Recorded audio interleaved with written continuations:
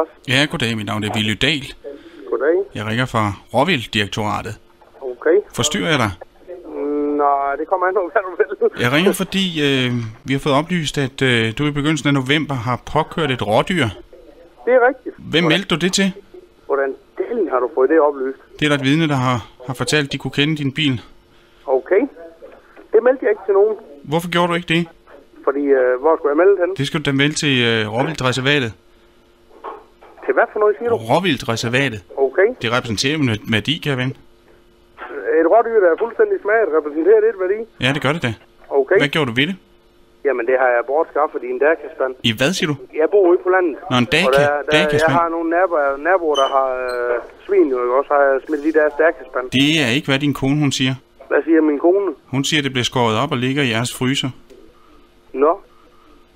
Jamen, så har hun da talt over så. Har du tænkt dig at ændre din forklaring?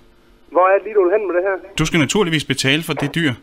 Det er en 2.500 kroner. Det må du da gerne sende en regning om, men de penge, dem ser du aldrig. Nå, det gør jeg ikke. Nej, Men Det bliver du dømt til.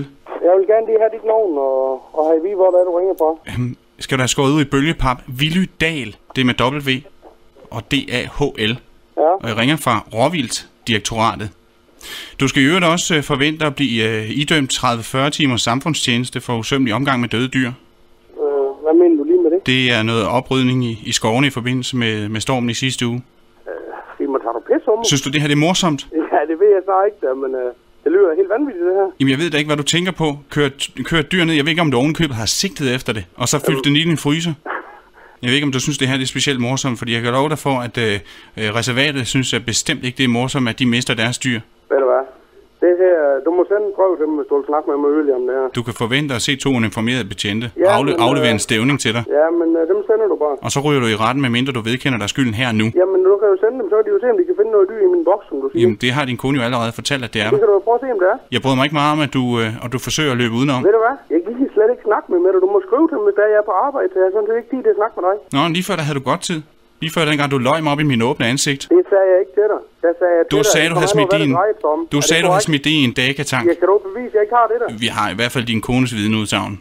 Og så møder vi op med en dommerkendelse i eftermiddag. hvordan har du fået fat i min kone? Og jo, så hun, øh, hun, hun, har, hun har jo også sendt en mail til mig, hvor, hun- hvor hun har skrevet det. Hun skriver her, at øh, du er på vej mod Danfoss, og øh, i forbindelse med noget elarbejde. Sammen med en kollega har du slagtet dyren, og det ligger i fryseren. Jamen, det er fint. det er godt nok. Mit navn er Palle Bo. Hold kæft, mand. Jeg har sgu da aldrig mødt med til folk, du. Og ved du hvad? Nå, du skulle have nogle kløskud, du.